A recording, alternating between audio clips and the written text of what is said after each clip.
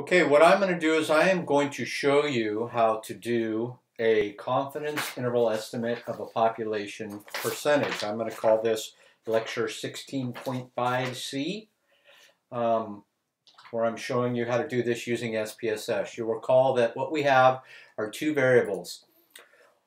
Basically measure one if they're a Democrat or zero if they're Republican. We would pretend that maybe we worked for the Democratic Party and we wanted to see what percentage of the population is going to vote for our candidate.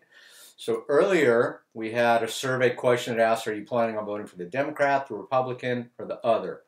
Okay, and we recoded that into a variable where it was one is Democrat. So whatever you're interested in doing a confidence interval, the percentage, you make that one and the other one is zero. And then to make the math easier, what we did is we went and recoded that one into where Democrats were 100 and Republicans were zero. So we're pretending that's 100%, that's 0%. Again, if you wanted to do what percentage we're going to vote for the Republicans, you would just recode it where Republicans were 100%, etc.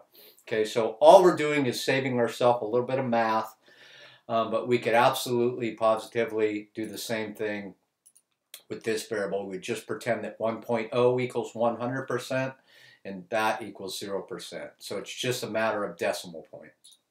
Okay, so we would go, so we've done this to trick SPSS basically. And it's going to come out very, very similar if we did it by hand, and you'll see that.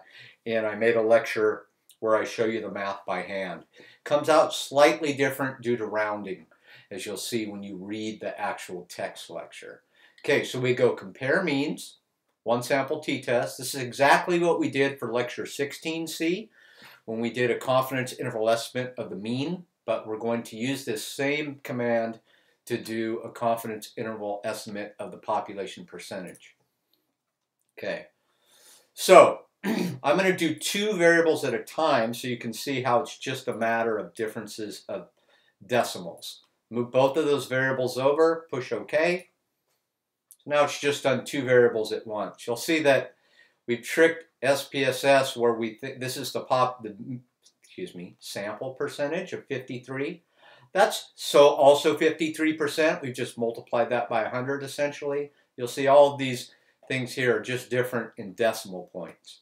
Okay, so over here you see that's 43.05. That's 43.05 with rounding. So essentially they're the same thing. Okay, so basically, I like this because then I don't have to do math down here, but you could absolutely use that other variable right here and you'd get the same answer. So what this means is we could be 95% confident that the percentage of the population planning on voting for the Democrat is between 43% and 63%.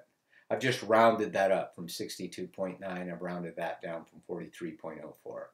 When you look at the text lecture, you'll see there's a slightly um, different in terms of the exact number, but when you round them, it comes out exactly the same.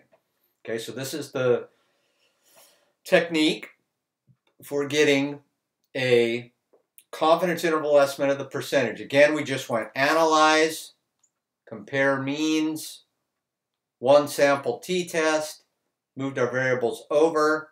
It looked like that. I'm going to do it one at a time now. Just use the one over there. Move that over, keep that at zero, press OK. Now you just have the same output, but now it's just one variable at a time. You'll notice that these numbers are the same as that, and this box is the same as the bottom box over there.